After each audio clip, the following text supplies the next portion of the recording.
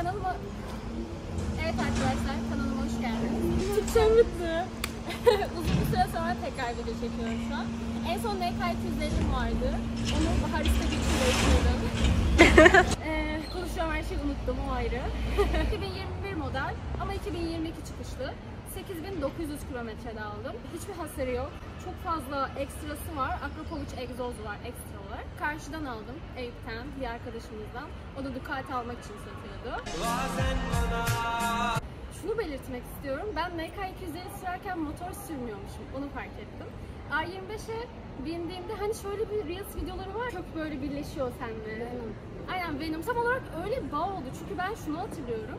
MK250 varken ben otobüse binerdim. Hani motor çok birazcık benim için ulaşım aracıydı. Ama şu R25'in tadını alan bir var. O kadar farklı ki racing olmasından dolayı mı yoksa kalitesinden dolayı mı bilmiyorum ama motora bindiğimde o şeyi alabildim. Yani direkt hani o birleşti, o kökler birleşti. Tabii ilk başta stop ettim. Allah'ın emri. Ama çok korkuyordum ilk sürdüğümde. Çünkü Naked'dan Racing'e geçiyorum ve gerçekten motor gemi gibi. Ben hala otoparkta motor görüyorum. Ben diyorum ben bunu nasıl sürüyorum? Ama onun verdiği o tatminsel bir özgüven var. O kadar fazla okşuyor ki o özgüvenimi. İnanamazsınız. O yüzden diyorum ki iyi ki geçmişim. Maddi olarak e, NK'nın iki katından daha fazla. Ben bu motoru ucuza almadım. Çünkü şu an biliyorsunuz sıfırını almak imkansız. E, ön siparişle alabiliyorsunuz. O da 2025 sonunda geliyor. Ben o kadar beklemek istemiyordum. Bir de o zamana kadar fiyatlar çok mahv olabilir. İkinci elinden bir 50 bin lira daha düşük. Bu şeyden çok bahsetmeyeceğim yoksa sarı siteden banlayabilirim. Sonra bayağı bir e, sürüş yaptım racing motor alışmak için çünkü virajlarda kesinlikle daha zor Naked'dan. Ama alışılmayacak kadar değil. Duruşu hala birazcık Naked'daki duruş gibi yapıyorum ama onu da zamanla düzelteceğimi düşünüyorum. Ve Öyle bir geçim böyle mi? Arkada. Hiç önemli değil. EK 250'deki acemiliğim R25'e geçince sanki direkt bitmiş gibi hissettim. Bunun sebebinin ne olduğunu tam olarak anlayamadım ama o R25'i sürmeye başladıktan sonra trafik adabını artık daha farklı şekilde anlayabiliyorum. Ters yönden araba geliyor. Dikkat et Ayşe. Öleceksin. Clio'lar neden böyle?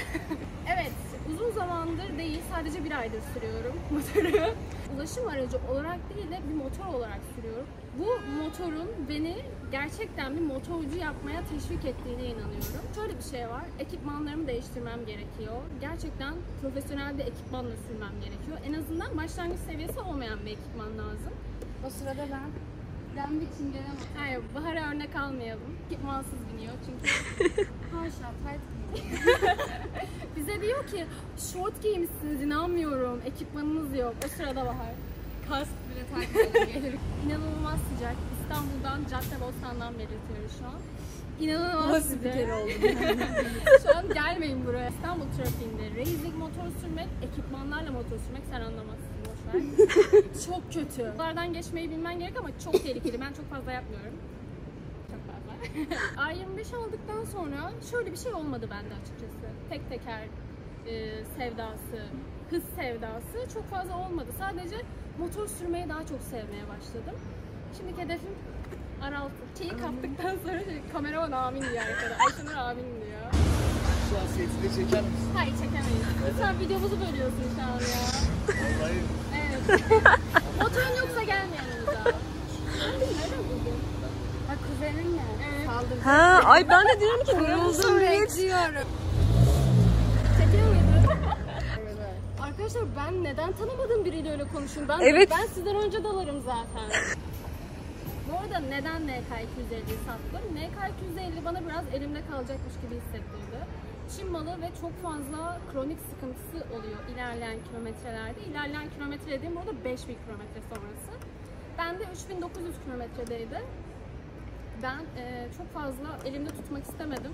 Çok uğraşmak istemiyorum çünkü öyle apaçı gibi de sürmüyorum ama o parçalarıyla... Egzozu Yanmıyor şu an sönmüş biraz. Şeyle uğraşmak istemiyorum. Ayrıca o tatmini bana vermiyordu.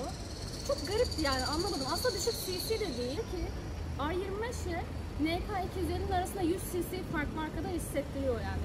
Racing ve Naked farkından dolayı da büyük ihtimalle. E, motoru almaya Ee, yanımda yürüyen ekspertizle gittim arkadaşım Talha'yla. Binerarı var. Tek başıma motordan fazla anlayamayacağımı düşündüm. O yüzden motoru gerçekten çok iyi bilen bir arkadaşımla gittim Talha'yla. Talha motora böyle bildiğin ayakta ekspertiz yaptı. Her şeyine baktı. Ondan sonra Eyüp'ten Pendik'e Avrasya trafiğine denk gelerek geri döndüm. Ve arkamda Emre ile Talha olduğu için arabada benim aralardan gitmeme izin vermediler. Çok normal olarak korkuyorlar çünkü ilk defa racing sürüyorum. Ve o trafikte aralardan geçmeyerek normal bir araba gibi tam olarak öyle gittim. Ve o kadar sırtım ağrıdı ki Talha bana şey diyor. Normalde böyle ağrımayacak motordan soğuma. Normalde böyle değil. 2 saat boyunca trafiğe kalmıştım. Hayatımın en kötü motor deneyimlerinden biriydi. Ama geçti gitti. Şu an çok güzel. İyi ki almışım. Talha'nın çok yakın zamanda çok yakın bir arkadaşı otobanda vefat etti. O yüzden size kendime de ayrıca hangi motor olursa olsun, binlik olsun, işte 900'lük olsun fark etmiyor. Ben kesinlikle aşırı hız yapmanız taraftar değilim. Ben de çok fazla hız yapmıyorum. Hız tutkunu değilim. Ben motor tutkunuyum zaten. Hız, çok hızlı değilim. Ben motorda maksimum 140 gördüm mesela. Aşırısında çok fazla istemiyorum. Kısa bir spoilerdı bu. Birazcık dikkat edelim. Şok giydiğim için kızmayın bu arada. Biz de biliyoruz. Dizime olan bir dizlik bulamıyorum. Yani. Evet. Her, hep çok bol geliyor bana. Kaval kemiği... Ekipman çok önemli. Eğer bu videoyu yani YouTube'a koyacağımız için ekipman önemli ama hmm, O da katlanır plaka var ama ben plakayı bir daha attırdım katlanmasın diye. Benden önce serseri demeyeyim. Çılgın bir arkadaşımız sürüyordu. Bahar'ın emektar. üstünde ben olmayınca çok kötü görünüyor. Sen de 25 olacaksın değil mi? Satayım sana. 300'e. Nöbetçi. Nöbetçiyim. Halledeceğiz. Evet. geçin önemli. Kırparız. Gazlayacağız birazcık kepoluk yapacağız. Piyasa yapacağız. Daha fazla motorlu ve spor videoları YouTube kanalımı ve Instagram'dan beni takip etmeyi unutmayın. Siz çekseniz.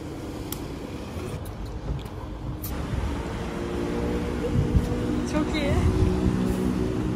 Bittim zaten. Senin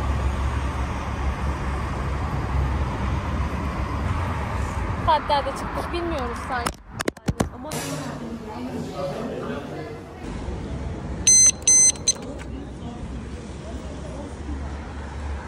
Sonra bir daha minnak demem. Yara gaz versene.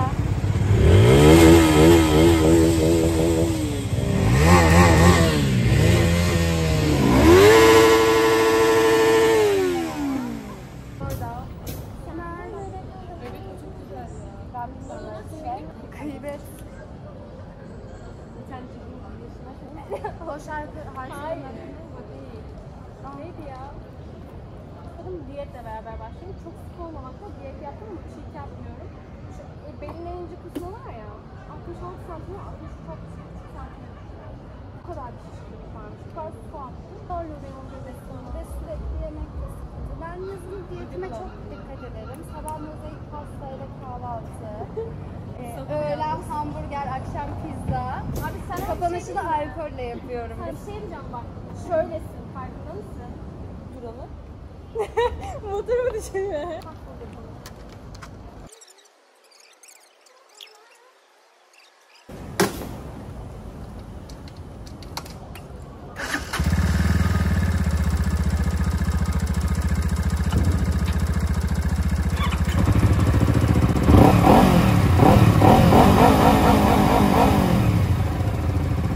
Mal debe.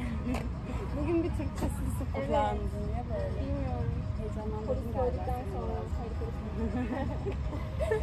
Polisten her Hayır daha görmemiştik videoyu çekerken. Ben heyecanlandırdım şey işte. diyeceğim. Polisten her sonra benim eller böyle oluyor. Kazadan sonra öyle.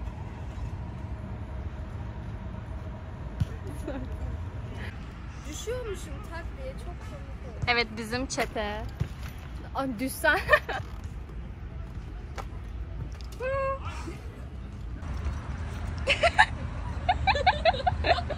Devirirsen bana ödetirsin sonra. Benimkini devirirsen çok bir zararın yok. Halimi videonun sonuna koyar mısın? Şu videoyu çekmek için. Tut telefonu. Ben seni çektim. Çok iyi. Yakın arkadaşın yakın arkadaşın için neler yapabilirsin? Sınırları olmayan bir insan. Sana maaş vermem gerek. Evet. Kameraman maaşı. Ben Gerçekten. pahalıya giderim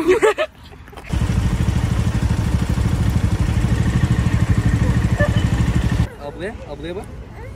Çirkin yap bir tane. Bak, uykusu geldi bugün.